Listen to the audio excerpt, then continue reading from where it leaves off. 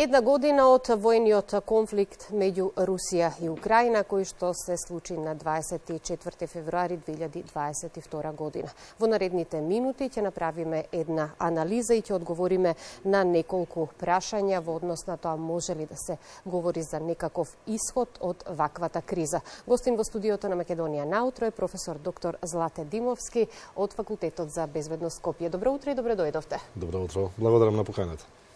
Велите гостин сте во емисии, па и еве во Македонија наутро, кога има актуелни случувања, има за што да се говори. Генерално во нашата држава постојано има теми од секојдневието кои што се актуелни, но еве најактуелна сега е годишнината од војната криза меѓу Русија и Украина.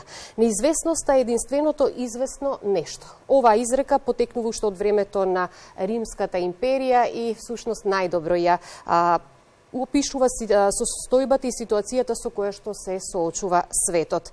Една година од руската инвазија на Украина, 24 февруари 2022 година. Може ли да зборуваме за некаков исход од оваа криза? Ќе се навратам пред една година, баш uh -huh. кога почна првиот напад, бев повикан во студио, некај вас, во друга телевизија, так. И дававме едно собствено видување за тоа што ќе се случува и како ќе се одвива понатаму. И да верувајте дека јас сум умерен оптимист, меѓутоа не сум песимист. И најголемите песимисти, аналитичари, не предвидуваа дека ова ќе оди една година. Uh -huh. Сите одевме на онаа солуција на што предвидува и самата теорија за мир, безбедност и за водење на војна, дека најчесто војните конфликти се последното средство, предходно предпоставка е дека се исцрпиле сите дипломатски и останати некакви си преговора, преговарања, договарања и така натаму и тогаш веќе кога нема излез од сето тоа почнува таа војна, тој конфликт, тоа убивање практично или заземање на територии. И тогаш предвидовме дека ова ќе биде пресметана агресија и во одреден временски период кога ќе се постигнат одредени цели, а тоа се цели подобри за кои ќе се седне на таа преговарачка маса да има поповолна позиција едниот, оној кој што ќе биде практично подобар или агресорот да го наречеме во тој момент, и дека ќе прекине за многу брзо. Меѓутоа се испостави сосема поинако. Ниту еден не слушнав да го предвиди сето ова дека ќе ќе оди овај конфликт до една година и она што вие го кажувате на вистина не можеме непредвидливо е веќе да предвидуваме што так. понатаму ќе се случи и се она што устоа се носи практично имаме веќе и голем број на жртви, имаме заземено голема територија. Од друга страна, значи жртвите пазете да се ограничам само жртвите не се само од едната страна, од нападнатиот, него и оне што напаѓа, што е нормална работа. Од друга страна веќе се исполаризира и светот. Голем дел на државите или поголемиот дел на државите се свртија веќе против Русија. Понатаму се предизвика и нешто што е веќе и криза, тоа се кризи во севкупното живење, тоа е практично онаа криза која што имаме сега со во енергетскиот сектор, која што имаме со храна и некои црни сценарија кои што понатаму се ни се наметнуваат да ги размислуваме за евентуално и останати некакви си кризи кои што доправа ќе следат. Војната по дефиниција е пораз на човештвото, особено сега во 21. век, кога неуспехот на дипломатските напори и ненаучените лекции од животот се плаќаат и со човечки жртви и лични трагедии. Исходот зависи од многу работи, но можеме ли еве да дадеме одговор на оваа прашање? Од што зависи исходот на оваа војна криза? Видете, војната во самиот почеток започнува со одредени цели – Има одредени цели и се предпоставува дека кога ќе се постигнат истите, дали тоа е за земање на одредена територија, подобра позиција во преговарање или евентуално постигнување на некакви си други цели, кога ќе ги постигне треба да прекине, барем така по ова што кажувате вие по некоја си дефиниција. Меѓутоа, так. овде не можеме да предвидиме прво и основно кои се целите. Од друга страна веќе многу фактори се вмешани за да може едноставно да прекине.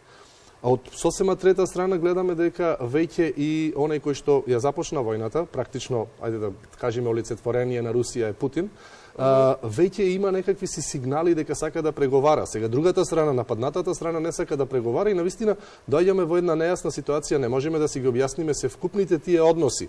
А кога некој ви нуди да веќе седнете и преговарате, а вие го одбивате, а практично сте нападнати со разрушени градови, со многу лица кои што веќе мигрираа од вашата држава, кога сте погодени од секаков тип на напади кои што ги има и така натаму, исцрпени ви се голем дел на ресурси, не можем да разберам зошто не би прифатиле да преговарате. Така да, земајќи ги во вите овие елементи кои што сега ги споменав, а тоа се само многу мал дел од она што можеме да елаборираме, навистина не знам дали некој ево позиција сега да предвиди што понатаму би се случувало. Од почетокот на руската војна против Украина на 24 февруари минатата година, десетици илјади се загинати во оваа војна криза. Инвазијата ја предизвика и неголемата бегалска криза во Европа по втората светска војна. Еве само неколку податоци, над 8 милиони украинци се внатрешно раселени, околу 8 милиони ја имаат напуштено државата. Пет седмици од почетокот на инвазијата Русија го доживеа исто така неголемото иселување од незините граници по октомвриската револуција во 1917 година И овде мораме да истакнеме дека Полска стана клучен а, играч во соочувањето со агресијата на Мос, а, со Москва и секако незаменлив партнер на Соединетите Американски држави во регионот, затоа што 7 милиони украинци ја мина границата и а, влегоа во Полска. Е сега една година подоцна, неколку дена пред одбележување на годишнината од војната криза, ненајавено председателот Бајден пристигна во Киев за да ги нагласи напорите на Соединетите Американски држави, секако да ја пренесе поддршката за Украина. Што значи ова посета на Бајден во Украина? Споменавте ненајавена. Да. Сигурно дека во време на војна, во услови кога може се и се што да се случи со тоа што со неговото доаѓање практично на еден лидер на една светска сила, сигурно дека нема да биде најавена, тоа ќе се чува во најголема конспирација. И еве тоа се случи, дојде им даде поддршка, фактички тоа е голема морална поддршка за нив, настрана од се она што ќе следи и што вети дека ќе има и финансиска поддршка и дека ќе има на сите полиња практично поддршка, особено во онај дел можеби и после завршувањето на војната во тој дел на реставрирање или враќање во нормален живот на граѓаните на Украина. И од таму нормално дека отиде и кај Полска, предпоставувам да се заблагодари за се она так. што вие сега го споменавте, затоа што сепак соседите и онаму каде што можат да се движат самите или блискоста практично со дали тоа ќе биде лингвистичка или евентуално некаква си историска блискост, луѓето таму бегаат, таму сакаат да да екзистираат и така натаму и Полска навистина ги отвори вратите. Што све ова значи? Ова е навистина една голема поддршка за Украина, барем јас така гледам, и едноставно тоа значи дека и понатаму напорите на Украина што ги има за да одбрани собствената територија, за евентуално да ја порази онаа војска, онаа сила која што има од Русија, ја ценат и даваат поддршка во тој дел и гледаме тоа фактички не е само некоја си идеолошка поддршка или да кажеме само морална поддршка, него тука имаме и ефекти, а тоа се практично доставување на голема воена помош која што доаѓа изразена во некакви си тенкови. Еве слушаме дека ќе има можеби борбени авиони, а да не зборуваме за Најава се она што е помош, да, да, да, се она што би било во делот на логистицирање околу водењето на војната, сите оние потребштини uh -huh. кои што ги имаат самите војници. Меѓу другото, Бајден истакна и рече дека кога Путин ја почна инвазијата пред една година, мислеше дека Украина е слаба, а дека Западот е поделен, но вели Западот помогна во одбрана на Украина со невидена воена, економска и хуманитарна поддршка и секако нагласи дека таа поддршка ќе продолжи и понатаму. Меѓутоа, од друга страна, пак вчера и Путин а, одржа а, свое обраќање и нагласи дека всушност Западот е виновен и тој ја почна оваа воена криза. Видете, никој не би започнал конфликт доколку нема реална проценка на состојбите. Сигурно дека руската војска, односно рускиот естаблишмент, да го наречеме, вклучувајќи тука војската нормално, направија предходно добри проценки, направија добри планови кои што покасно нели низ во текот на самиот тој период на водење на тој борбен дел едноставно се изменуваат, се адаптираат, се аклиматизираат на нови новонастанатите услови, сигурно дека тие имаат проценка дека ќе стигне до тоа дека Западот ќе им помага. Не можеме да кажеме дека тие не ја направиле таа проценка. Факт е дека и тука се постигнува одреден ефект помеѓу оние примарни цели кои што се сакат да се постигнат, дефинитивно се и секундарните, а секундарни практично е и се она што дополнително ни се случуваше да се покаже дека сепак тие се извор на многу енергенси, на голем дел од храната која што се троши во самата Европа, па и многу пошироко, и дека од многу елементи, односно од многу суровини и од готови производи зависиме од Русија. И тоа се покажа, тој страф кој што го имаше и Европската Унија, кој што многу јасно на, на многу на, јасен начин беше изразено дека навистина имаме проблеми. Пред нас беше зимата која што за среќа еве испадна така. навистина пролетна зима да ја кажеме па, пошто немавме толку потреба имаме некоја филозофија од самиот почеток да. на изразувањето, така да навистина не верувам дека тие не го направи не ја направија таа проценка и едноставно придонесоа за тоа зближување на западот. Mm -hmm. Меѓутоа од друга страна пак имаме зближување сега на Русија со останати други сили во светот кои што не се во европскиот континент, така да тоа поларизација продолжува. Може би тука е таа секундарна цел која што сака да се постигне, која што ние не можеме така. од оваа позиција да ја прочитаме.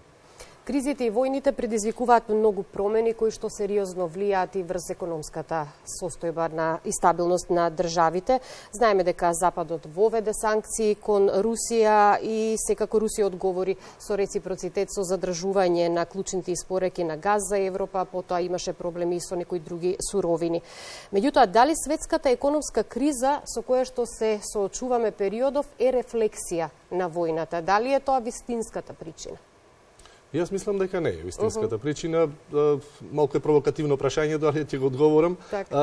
не можам да кажам со сигурност, затоа што не суме следел тој дел uh -huh. на ево на ресурси на на се она што што ни требало практично во а, живењето нити досега некој од нас а, оние што на вистина не се бават со таа проблематика нити знаевме дека најголемиот дел од ресурсите практично доаѓаат од Русија или од Украина. Uh -huh. Затоа што не е ова само на Русија практично прекин на доставата, него едноставно беа уништени многу постројки кои што водеа дали тоа газ беше, дали тоа беше нафта или евентуално жито и така натаму, кои што водеа на патиштата за западот, за сите оние држави, вклучувајќи и нашата држава, да добиеме соодветни суровини, практично да можеме да си го организираме животот понатаму. Така. Прекина сето тоа во еден момент, меѓутоа добро е што многу брзо самата Европа, Европската унија и останатите држави кои што се аспиранти нели за за влез во Европска унија како што сме ние, многу брзо се адаптиравме на новите промени и се изнајдоа нови начини од каде да се набавуваат одредени ресурси така да не се остана без ресурси.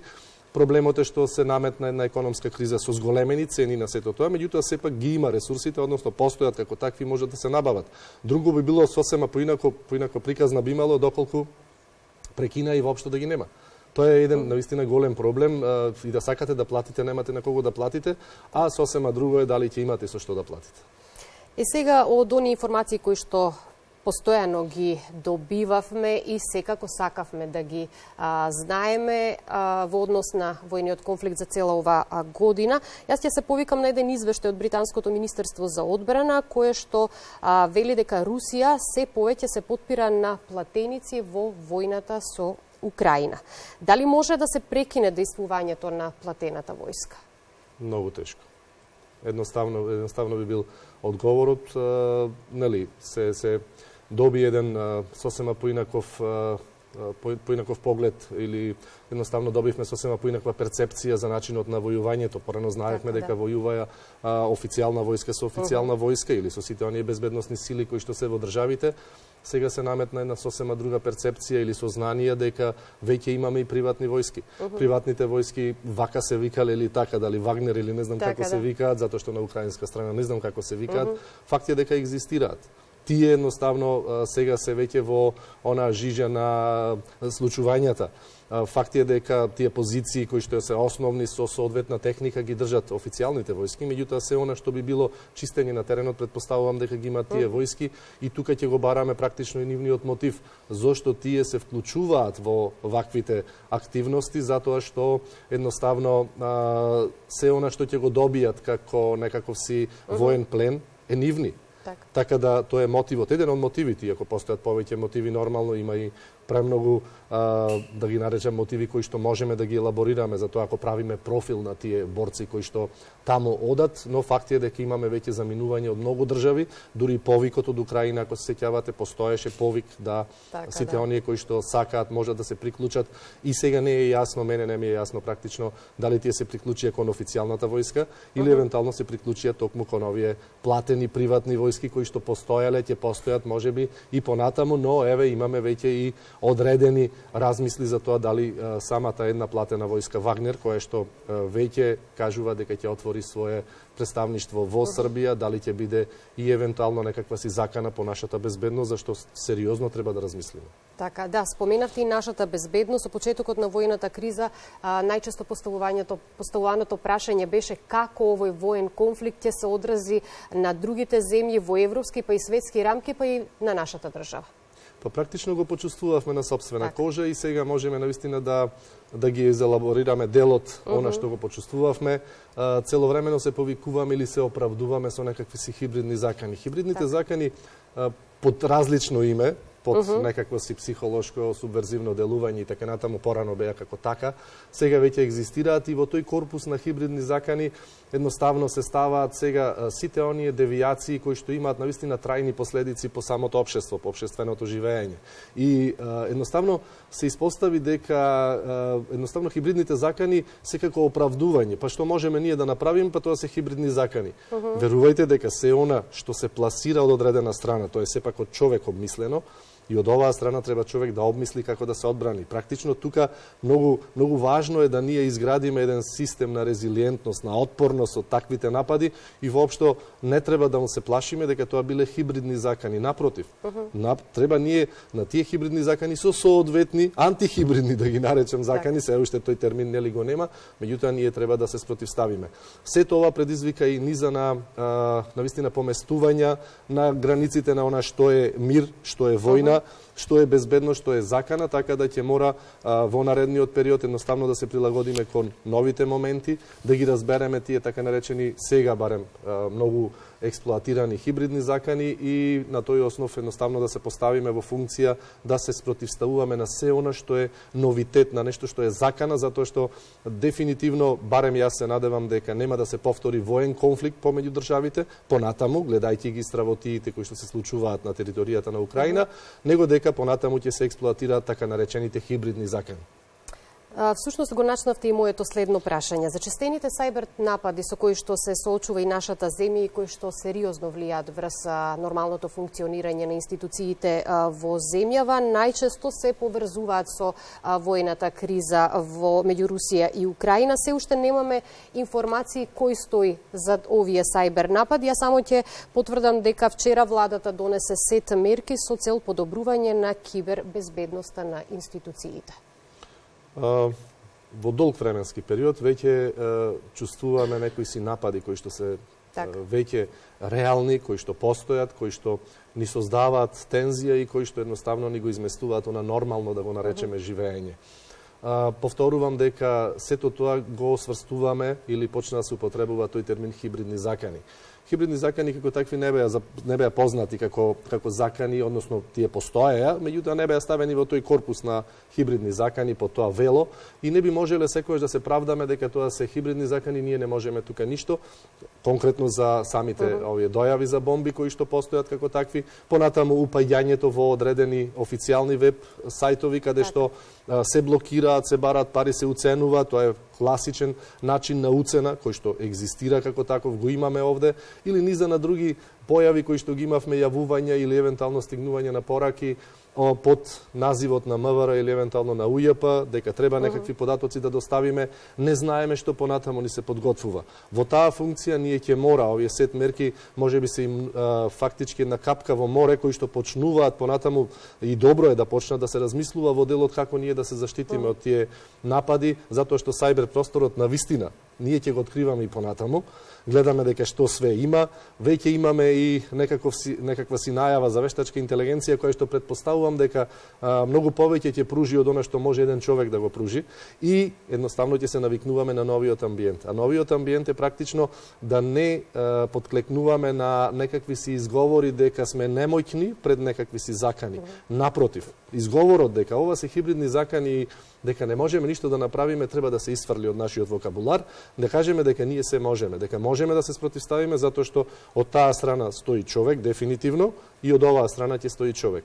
Во, во, таквиот, во таквата констелација на односи дефинитивно ќе мораме да изградиме една, еден посебен систем на отпорност на општеството, а тоа мораме да го работиме е, заеднички и на вистина ни требаат вистинските луѓе на, на вистинските места. Тоа ќе мора да го разбереме во наредниот период. Разговорот го започнавме со прашањето можен ли е некаков исход од војната криза меѓу Русија и Украина. Никој за сега не може да одговори да. на тоа прашање и всушност ќе заклучиме на самиот крај од разговорот дека светот е повторно пред нов предизвик. Всушност неизвестноста е единствено известно нешто. Да, ова филозофска мисла на вистина ме така. некако ме преокупира и мене да размислувам да. во тој дел. Дефинитивно мене ме плаши друг момент, само ќе бидам многу краток поради времето. Так. А, ме плаши друг момент, да не ова има рефлексија врз други држави, гледаме тензии на на целиот на целата земјина топка, тензии на некакви си многу од поодамна тлени недоразбирања помеѓу државите заради одредени територии, заради некакви си религиски недоразбирања или евентуално заради некакви идеолошки цели. И а, може би се плашам практично да не ова биде и повод и причина за да започнат и други војни, што дефинитивно би довело до некакво си уништување на се она што го имаме досега постигнато, а не сме далеко од тоа да се постигне, особено ако евентуално се употреби, се примени нуклеарното оружје, кое што воопшто не е невозможно, така да повторно невозможното да не стане возможно. Звучи многу страшно, не дај Боже да ни се случи. Ви благодарам многу за гостувањето и беше задоволство. Благодарам и јас.